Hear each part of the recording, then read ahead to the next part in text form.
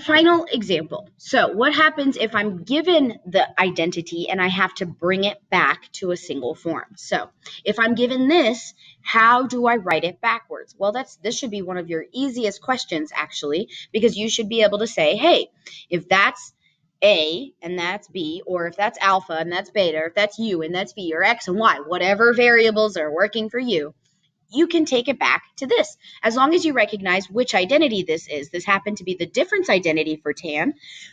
and then I can say 78 minus 18 is 60 degrees. Hey, I can solve tan of 60 degrees. That's on the unit circle. So I finish the solve, and that would be our answer. So these, like I said, should be the easiest questions on every test. So let's see one more. Here, again, hey, there's my alpha, there's my beta. So I recognize that's the sum identity for sine. I can do pi over 3 plus pi over 4.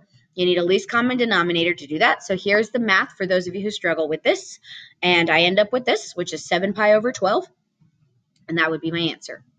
Can't finish that solve um, without a calculator because this does not this is not on the unit circle, or I would have to uh, to finish this solve any further, this is what I'd have to do. I'd have to go back to the beginning. So since it all it really wanted me to do was rewrite it in terms, ah, was rewrite it in terms of a single trig expression, right? Rewrite it in terms of a single trig expression.